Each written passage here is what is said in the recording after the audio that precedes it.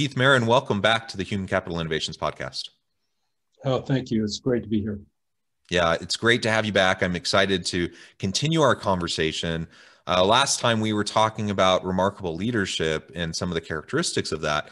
Uh, and I would encourage listeners to go back into our back catalog and to check out that episode. That was a really great conversation.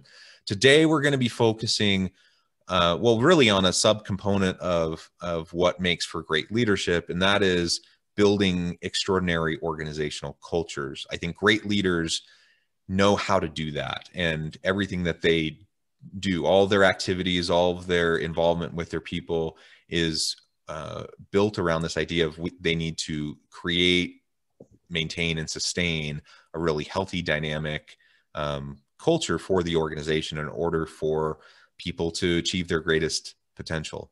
So we're, we're going to explore that together today. Uh, as we get started, I wanted to share Keith's bio with everyone again in case you didn't catch the last episode.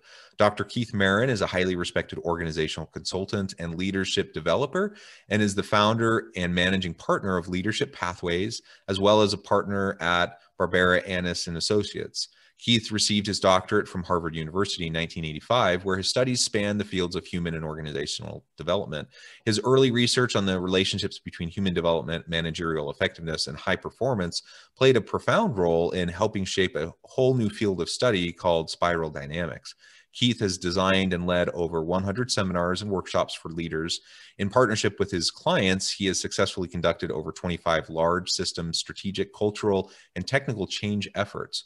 Companies hire Keith for one of the following three reasons to achieve sustainable high performance and industry leadership, to design and lead innovative leadership training programs, and for building ex- extraordinary organizational cultures, which we'll be talking about today. His work has positively impacted companies like Hewlett Packard, Amerigroup Corporation, MedCath, Wang Laboratories, General Public Utilities, World Corp, uh, CSAA, Endocare, the Healthcare Financial Management Association, as well as 350 other companies and organizations. Additionally, he is the author of five books uh, on human and organizational change, and I'll uh, list all of those in the show notes.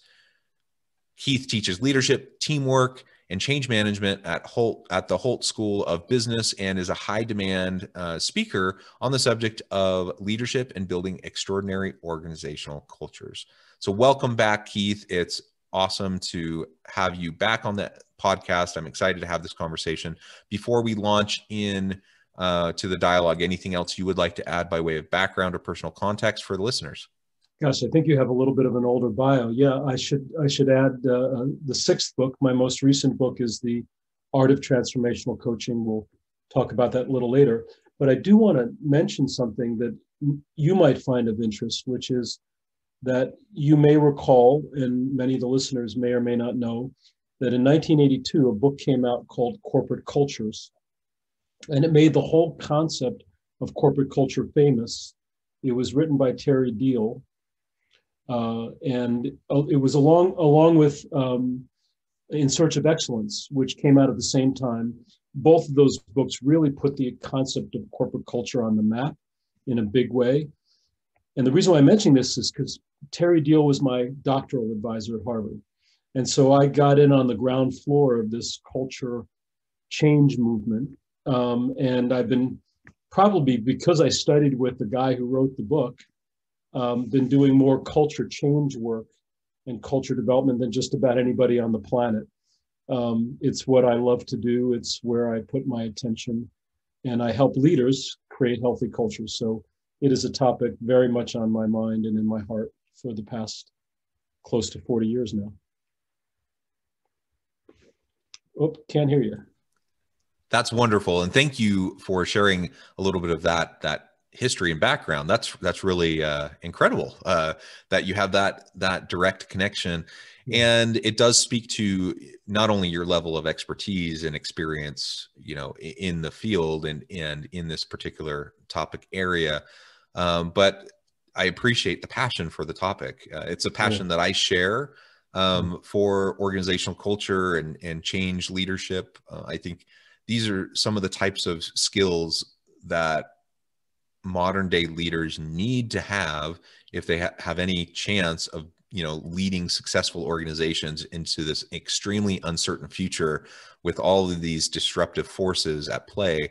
Um, we just need to be agile. We need to uh, we need to be flexible and adaptive. And that's hard to do while maintaining a healthy dynamic culture where people feel empowered they feel supported uh, and that that the people within the organization have the opportunity to maximize their potential um, to their own benefit, but to the benefit of the organization as well. So that's that's not an easy thing to do, and that's why we talk about these things um, to oh. hopefully give people some ideas on what they can do to start, um, you know, making a bigger impact uh, in their own workplace.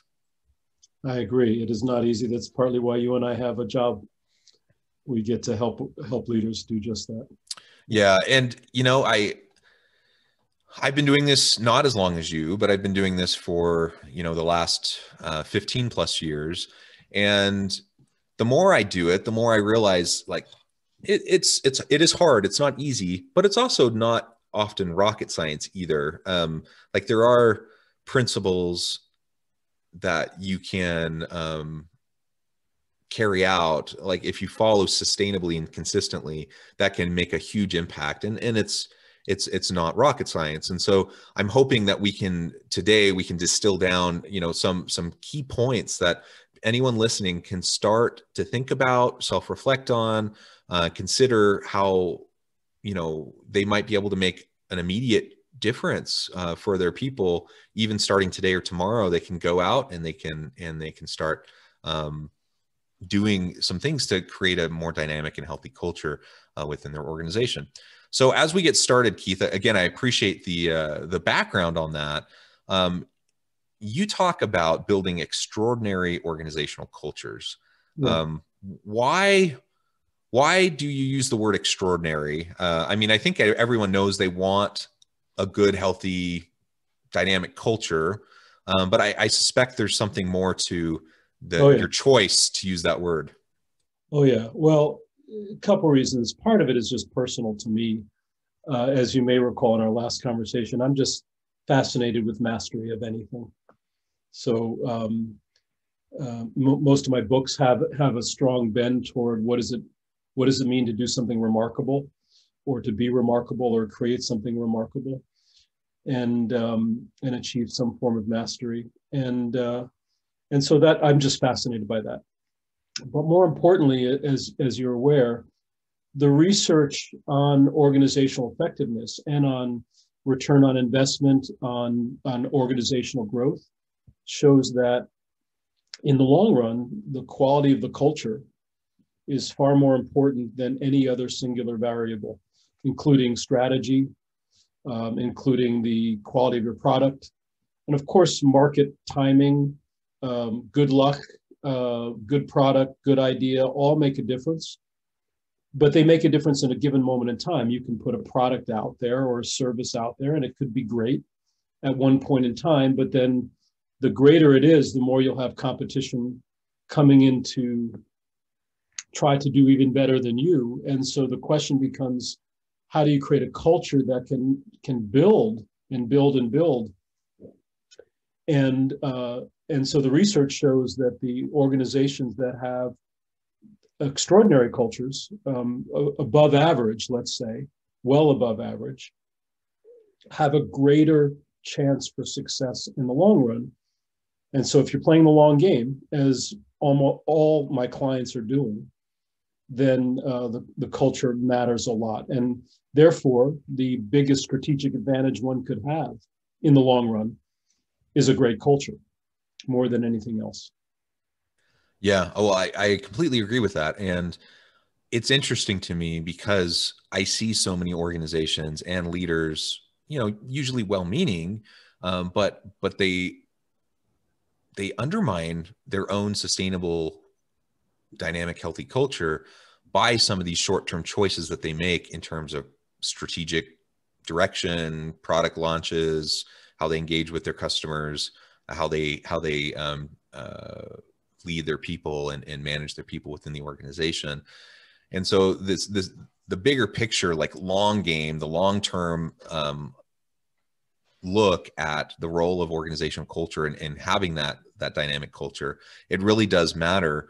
And when we get too caught up in the current moment uh, yeah. and quarterly earnings reports and you know all those sorts of things we tend to be really great at short-term orientation uh, in western cultures particularly in the united states you know it there, there's some benefit to that but but honestly in, in it, it can also really undermine your your focus and your attempts towards this long-term culture um, what what would you suggest to clients as a way to to stay grounded and connected to these long-term goals and and your your long-term uh, cultural orientation in the midst of you know immediate challenges that you're facing? Uh, you, you have disruptions you're worried about the pandemic whatever. You start to take shortcuts around your people around the organizational cultural elements and then before you know it you're spiraling and and doing a lot of things that you wouldn't have done you know a year prior what what can uh, leaders do to stay connected and grounded well, I think that it, it starts really with a personal choice. It's not now. Now, if you're in an organization that is already short-term oriented, then it, it, it's difficult. But I'm going to speak to the leader who has control over their destiny in some meaningful way. And so it's it really is a personal choice. And it, it's where do you stand in your life? Are you leading with the intent? Are you building an organization with your intent to sell, or are you building it with the intent to last? Are you building an organization where you want to have a legacy and where that organization endures well beyond you? And those are personal choices as far as I'm concerned. You can go in either direction and anything in between. As soon as you pitch your tent in the arena of short term, then you make decisions such as well, I need some investment capital from from an angel investor or from uh, venture capitalists. And venture capitalists, as we all know, have kind of a three to five year time horizon. And their intent is very clear build it to sell. They want an exit strategy, and their money is not patient, their investment is not patient. And so you kind of sell your soul to the devil in a sense and I'm not saying uh, venture capitalists, all my venture capitalist friends might not like hearing this, but you sell your soul to, or you sell your business to a venture capital company that has a short term horizon, already it's going to be tough to build anything of legacy. now, you still can, depending on who you're partnering with and depending on what their aims are. But it's kind of go big or go home in the venture capital world. But somebody who is building a company to last and really wants to leave a legacy states that up front, names it, declares it, partners with investment capital that is a little more patient and who understands that, and now they have a chance. Similarly, when they sell to a uh, sell the company to a um, private investment firm or something like that, or private equity, um, you know, there are different kinds of private equities. Some are patient, some are not. So I think it really starts with what is your stance right from the get go? And now you have a greater ability to build over time because you have partners who are patient with you. Um, once you're clear that you want to build over time, then every single investment you make, every single choice you make, you're facing the same question do I take a shortcut or do I not? And um, I, I don't think there's any secret sauce here. Just keep looking at the long run and ask yourself the question, which is the best way to go? Do I lay people off or do I not? Do we do we um, put this product out that has some problems with it, or do we wait another quarter until it's ready to go? What happens if we put it out sooner? Well, we may make more money right now, but we may pollute our reputation. I'm saying that those choices are going to be in front of every single company and every single leader, and it starts with one's own personal stance, and then the choices become clear. Yeah, I, I think that's well said, and it, it, so it does come back to our personal kind of ethical, moral um, compass, right, and our own values and how we prioritize those things. And so, right. if if we if we prioritize long term growth, sustainability, legacy, investing in our people, uh, if those are our top priorities, that will trickle down into all of the small everyday decisions that we're making uh, within the organization, all the policies, practices, procedures, uh, how we interact with our people, how people are held accountable, um, all of that, right, will will um, be built around the, these longer term visions uh, and priorities. And we can't. I I think it's important to we can't understate the the the, the essential nature of that kind of an orientation as we uh, as we carry out our daily work. So if I'm a CEO or a C-suite exec, um, or even you know a middle all the way down the line uh, leader within the organization, even down to just the lowest supervisory levels, you know I have to be thinking about how my actions do Im- impact uh, the perceptions of my people, how they interact with each other, uh, and this the stated long-term goals of that culture. And if I'm not doing that, then chances are, you know, if I'm not consciously thinking about it and, and working towards it, chances are I'm going to inadvertently, you know, perhaps purposely, but usually inadvertently, I'm going to do things that are going to undermine, um, you know, my desired long-term intent. Uh, and it's, I think that's just human nature, um, you know, because we all get distracted uh, and we all, the, the siren call of immediate gratification you know is is is a challenge for everybody. I, I don't know anyone who's perfect at you know setting those sorts of things aside and perfect at setting your ego aside. Um, so we just have to constantly be coming back to that and find ways to be centered around what matters most to us um, yes. and re- reconnect with that. Agreed agreed.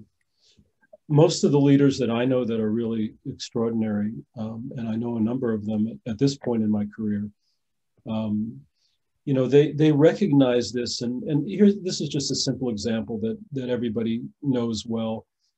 Almost every corporation on the planet has a set of values and they put those out there. Uh, you know this comes from the research that we did 40 years ago and terry deal really did it. I i was learning from him so i should say he did it. But i was quite familiar with this research that that showed that organ- to create a strong organizational culture, you need to have a set of principles that guide us. Well, so everybody knows, you and I know, we face this all the time. We face decisions where, what do I do? Do I go after the money? Do I do cut corners here? And what are my values? Tell me. Well, my values are almost always enduring. Values for excellence, values for honesty, values for for um, uh, demonstrating care for other people. Those are principles that we all live by. But in any given moment, we're faced with a choice. Well, the leader of the organization that stays true to the values of the organization and him or herself will create greater trust. That trust creates loyalty. That loyalty creates stability in the organization it also attracts other people who share those same values. The moment the, the leader compromises those values and says, okay, I'm not going to tell the truth to the customers, or let's not tell them we have a problem over here because we're afraid we might lose a little bit of business. Wells Fargo, who who who bends their the data around um, uh, uh, around their income um, in order to poof up their stock value, in order to attract more customers in the short run, the trust level plummeted the moment they made that decision.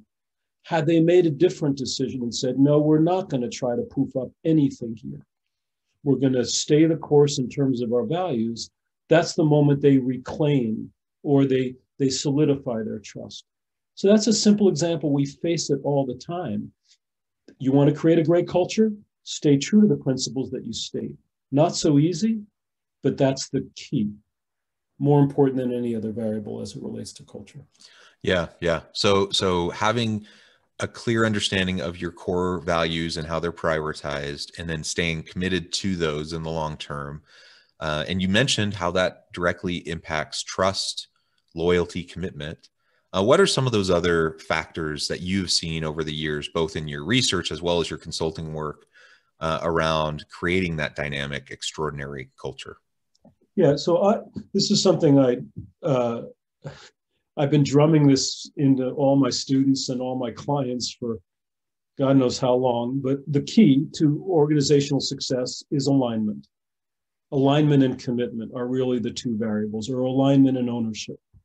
And what you're trying to do when you create an organization, you're creating a condition where people are all moving in the same direction toward a clear shared goal. And they're working well together. That's what alignment is. We're, uh, we're, we're working together. Our, our rows are, our, our oars are rowing in the same direction toward that aim. And we feel a sense of ownership. We have a direct experience of this is my organization. This is not our organization, it's mine. I own this psychologically. I care about what we're creating. I care about what we're doing. So those are the two dimensions that everything else revolves around. And so you, you know, ask the question, how do you create alignment? And now you get a clue to, or how do you create alignment and commitment? You get a clue to what it takes. So some of the keys are strategic clarity. Do we know where we're going? Do we know why we're going in that direction? Do we have a, a competitive, a, a strategic aim that differentiates us from our competition? do we know what we're doing in terms of our culture? Do we have a clear sense of what we're creating in the culture? Does that strategy and that culture align with each other?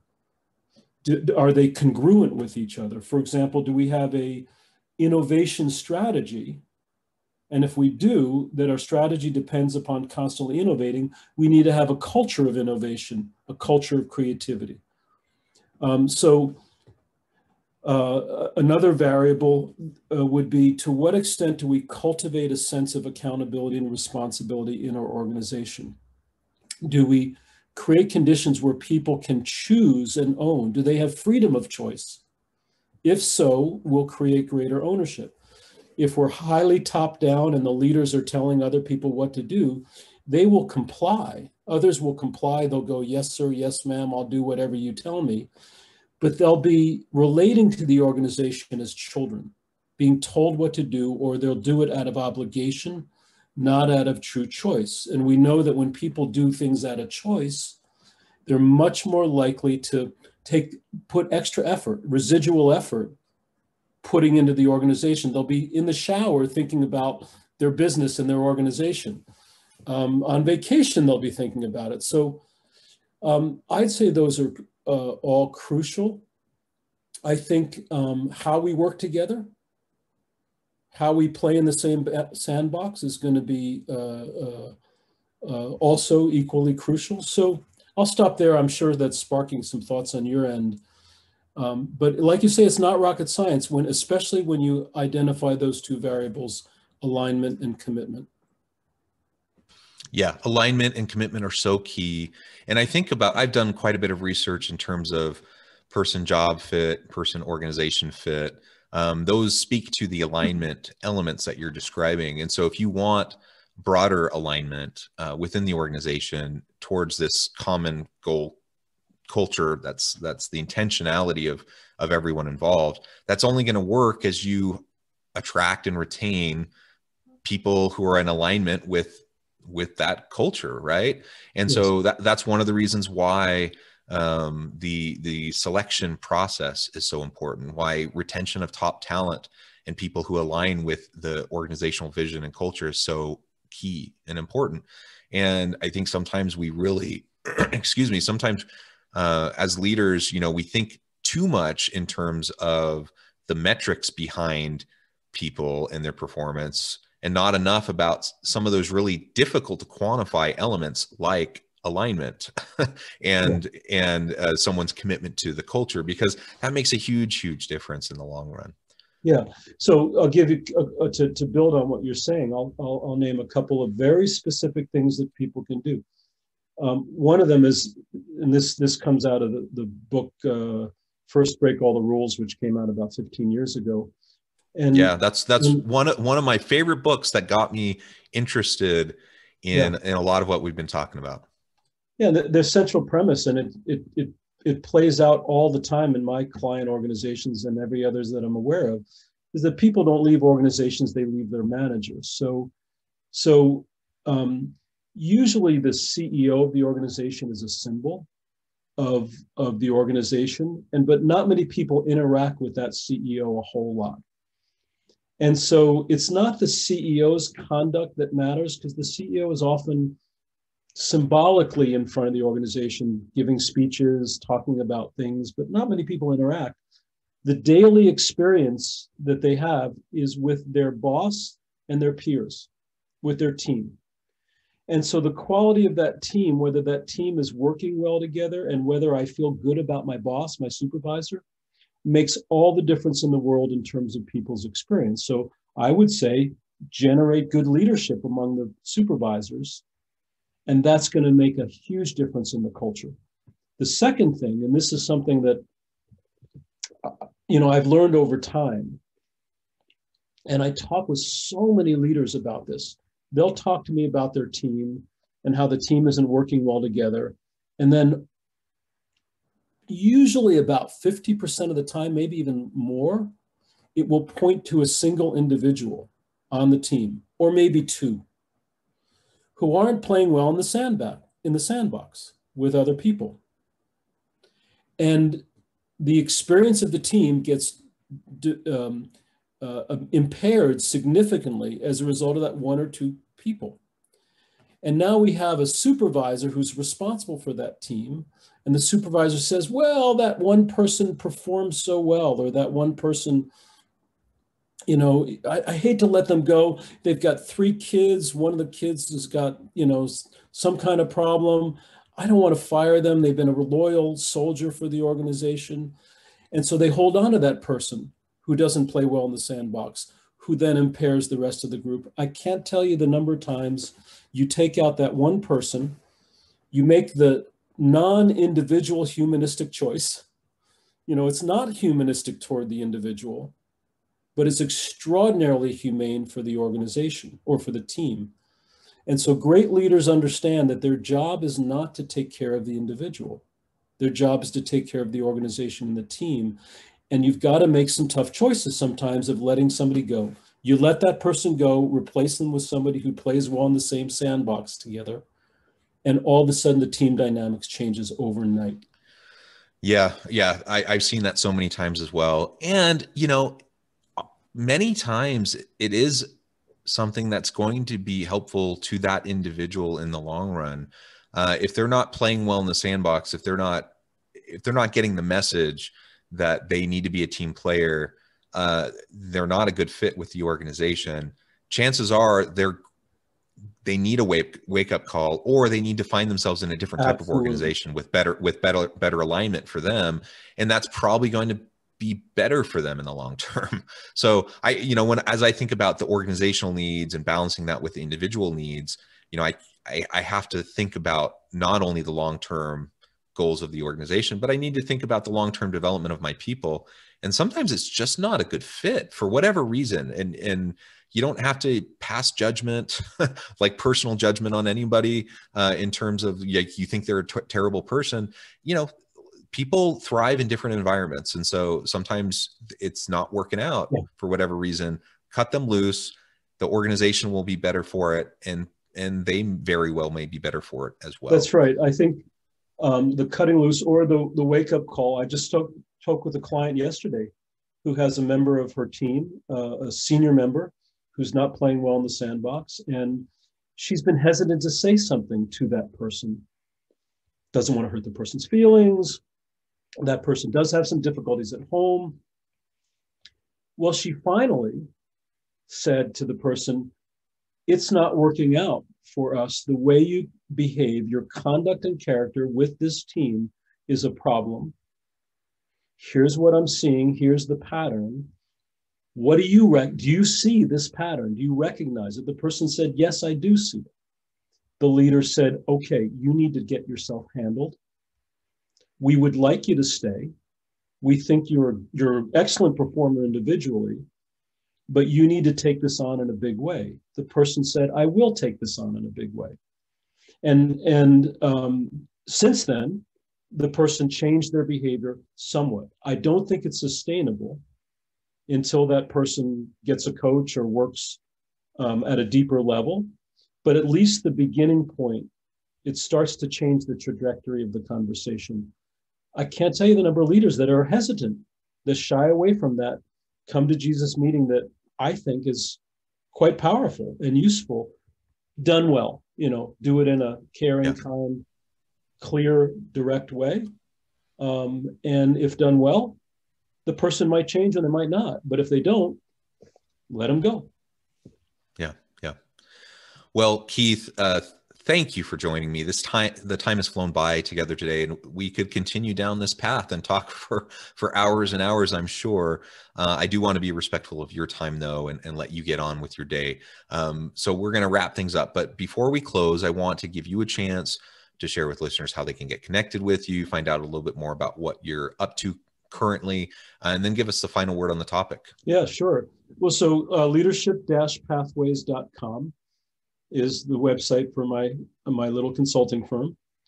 And uh, also, uh, in addition to consulting, as you know, I do a lot of leadership coaching, executive coaching. Um, uh, I love doing the coaching. Often I do it as part of my consulting work, sometimes as standalone. But in addition, I recently wrote a book, The Art of Transformational Coaching, um, and I've developed a workshop. I've been delivering this workshop now for a couple of years.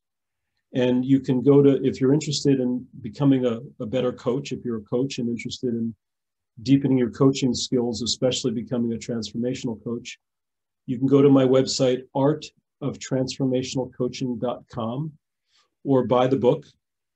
And uh, at that website, you can learn more about my workshop. I'm doing another one starting in late April, 10 week workshop um, and I'd love listeners who are interested to, to check that out. So uh, good enough. That's enough for self promotion for now. Um, I'm not sure I have any any final words. Um, you might have some final words as well. Uh, I just want to remind listeners, and I know I'm biased. I know I am. I do have a bias toward culture, but separate from the bias, if you look at the research, look at Built to Last, John Kotter's research, wonderful book called called Corporate Culture and Performance. Um, uh, uh, Good to Great uh, are among the bodies of research that keep showing over and over again. Culture eats strategy for lunch. Um, you know, and and strategy is important, but getting people aligned around the strategy is a cultural problem it's an organization behavior problem. It's not a strategic problem. You can have the most brilliant strategy in the world, but if you don't have a culture that can pull it off, you don't really have a strategic advantage. So I guess yeah. I do have parting words. There you go. well, that's that's absolutely correct. Uh, thank you, Keith. It has been a real pleasure talking with you again today. I appreciate all of your insights, sharing your experience and your expertise with my listeners as I, I, hope that everyone will uh, reach out, get connected with Keith, find out more about his workshop, his his new book, and as always, I hope everyone can stay healthy and safe. That you can find meaning and purpose at work each and every day. And I hope you all have a great week.